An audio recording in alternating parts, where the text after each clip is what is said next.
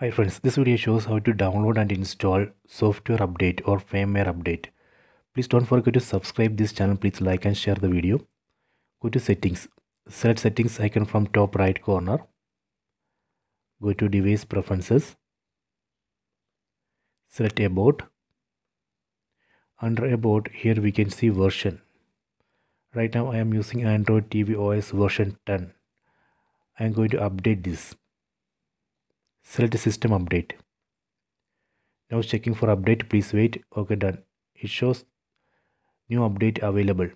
Version of new update is android tv os version 12.1.1 size of the update is 762 mb on right side you can see one download button. Select that button. That way we can download and install this update in this device.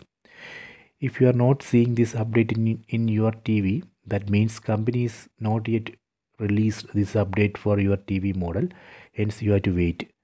You have to keep checking this. Once this is available then you would be able to download and install this update in your device. I hope you have enjoyed this video. Please check it